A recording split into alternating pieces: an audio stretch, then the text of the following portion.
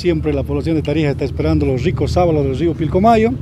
Queremos decir lo que estamos haciendo como gobernación, la unidad de ecodefauna, los monitoreos permanentemente en el río Pilcomayo, ¿no? con los técnicos de esta institución y también nosotros hemos nombrado eh, monitores, ¿no? que son comunarios o TVs originarios de la zona, tanto en Esmeralda, Dorminí, Crevao y Santa Victoria y Cotaique, ¿no?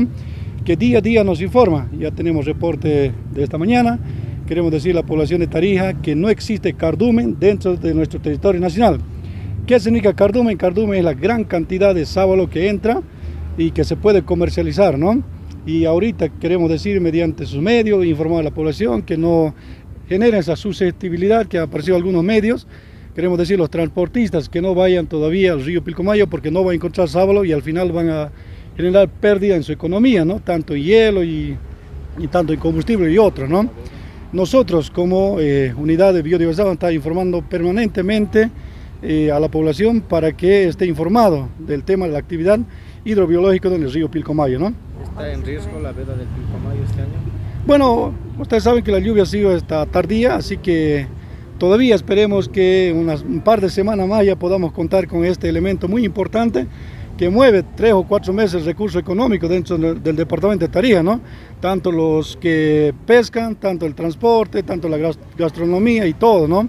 Así que genera recurso económico para el sustento de su familia estos tres o cuatro meses cuando se levanta la veda. Pero ahorita no tenemos fecha para levantar la veda y dar aprovechamiento al pesquero por el tema de que... Eh, ¿Cuánto se levantaba ya la veda? Bueno, anteriormente se levantaba en los, eh, a partir de mayo, se levantaba en anteriores años, tenemos reportes que se levantaba a fines de abril, para eso se hace un monitoreo constante y para sugerir al gobernador para que levante la veda, ¿no? Pero ahorita como va la situación Río Pilcomayo no, no podemos decir qué fecha se va a levantar la veda. Ahorita si, si, si hay dos o tres sábados en río Pilcomayo, es, por eso es que la norma es bien clara cuando se cerró la veda, que es, eso es sustento para los indígenas, ¿no? Para los buenayé, para los guaraní, tapiete que viven en el Pilcomayo. atribuir este tema, eh, que se retrase la llegada de los cardúmenes al tema del retraso en lluvias o bueno, un factor puede ser que la lluvia sido tardía, otro factor es que eh, en la parte baja yo, yo quisiera invitarles a ustedes, si hay un grupo de periodistas, puede ir, nosotros podemos llevarle el transporte, visitar nuestra frontera de Esmeralda y Dorminí para ver eh, la gran cantidad de sedimentación que existe en esa parte. Y a estas alturas, mira, eh, y han sido la lluvia tardía y a esta altura hay, no hay mucho suficiente caudal en la parte baja, ¿no? Y también hay autoridades, hay informes técnicos, de autoridades pasadas que han informado que el río Pilcomayo, en la parte, este tripartito pasa por Argentina-Paraguay, y hay obras civiles que se han hecho, también hay este, el proyecto Pantalón, que todo el mundo lo conoce, han hecho desviación de su, del agua, de su cauce natural, y esto puede afectar en el tema eh, piscícola. Y también la conciencia ambiental.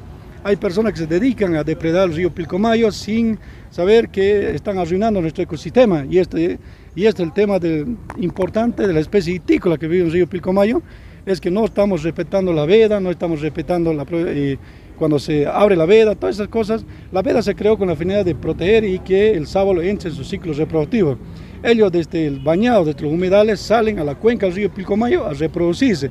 Ellos pelean, migran, por eso migran hacia arriba a reproducirse, porque es su naturaleza, ¿no? Y si nosotros durante la migración no cuidamos, no protegemos que unos sábalos lleguen a la punta, no estaríamos garantizando su ciclo reproductivo. ¿no?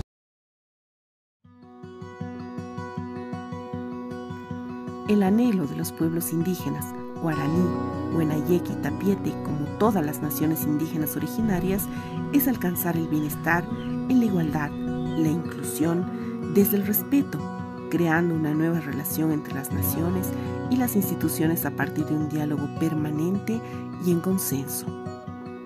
Desde la Asamblea Legislativa Departamental creemos firmemente que el arte puede cambiar el mundo y que es parte de esta nueva construcción colectiva.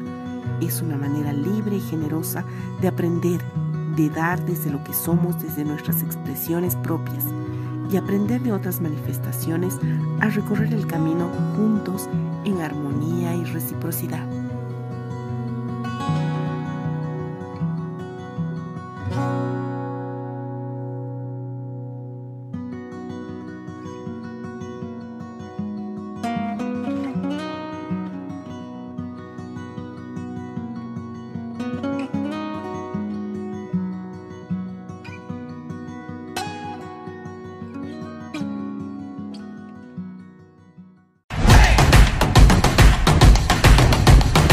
Somos, la nueva generación de profesionales